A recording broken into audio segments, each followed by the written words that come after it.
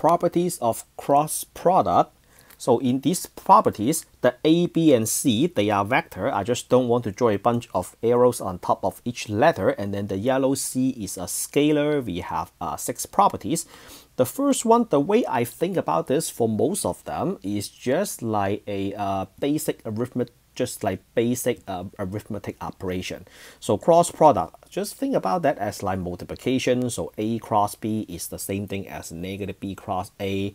Um, when you switch the order, you have to add a negative. And then number two, this uh, scalar C, I will think about that as a constant. C times vector A cross vector B, so that is the same thing as scalar C. Either you cross the B and A first, or you can do A cross C times B. And then number three, A cross B plus C is the same thing as A cross B plus A cross C. That one, I will think about that as a distribution. Number four, A plus B cross C, so that is A cross C plus B cross C. Again, I will think about that as a distribution.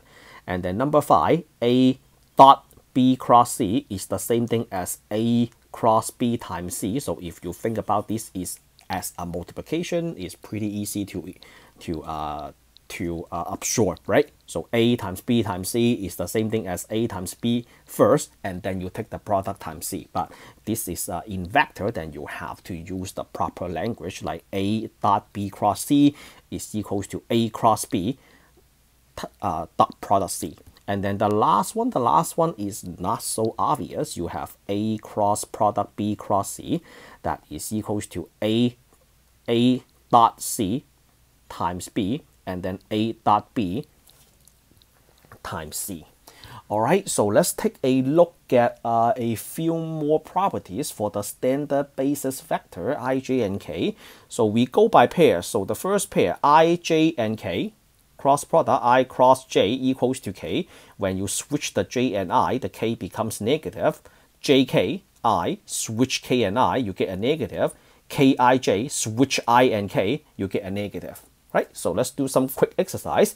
I would like to find a vector not with determinants but using properties of cross product. So the first one you have vector k cross i minus 2j. So k cross this vector. So what do we do first? So the first thing that we are going to do is uh, I am going to do something like a distribution. I put a quotation mark on that because this is a vector. So we have k cross i and then I am going to add k cross negative 2j. And then what, what else? And then I will just do a k cross i and then plus uh, this one I'm going to take the negative 2 out and then k cross j.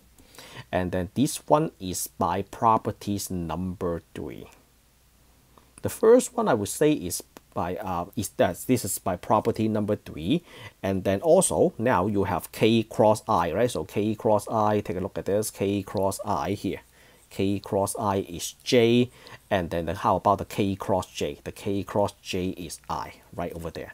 So you have uh two you have a j and then plus negative 2 and then k cross j that is i. So this is same thing as 2i plus j. Oh uh, uh, uh, no, no, no, no, no, no. k cross j is negative i negative i. So negative negative you have positive then you have 2i plus j it is just that simple. Let's take a look at the green one. The green one, you have i plus j cross i minus j. All right, so what do we do first? Uh, the first thing that I would do is I, I would just do something like a distribution. I would just do it like that. So that is equals to i plus j and then cross i. And then you do a plus. I always do a plus because the negative sticks with the j and then i plus j and then cross negative j.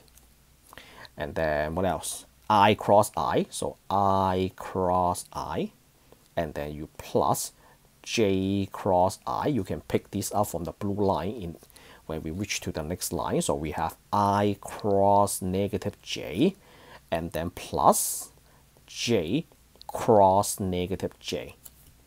Okay and then what is next the next step is you have i cross i uh, I'm going to write an, an extra line, so I will just put this in a parenthesis, and then j cross i, and then plus. That one, I will pull a negative 1 out, and then do a i cross j, and then pull a negative 1 out as well, and then do a j cross j.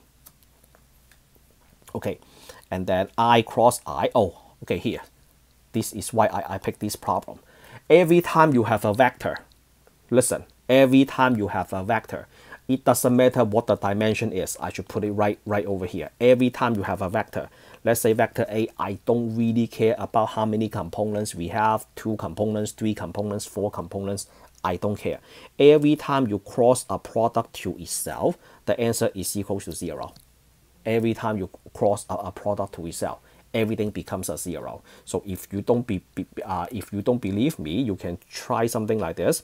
You can try a equals to uh, i plus j plus k, and then this one also uh, vector a. You have i plus j plus k, and then when you do the cross product, you are going to have this i, j, and k, and then these are all one. And then when you do the determinant i minus j and then plus k, you will see that this will be all one, one, one this will be all 1. When you do the determinant, do you see, do you see why?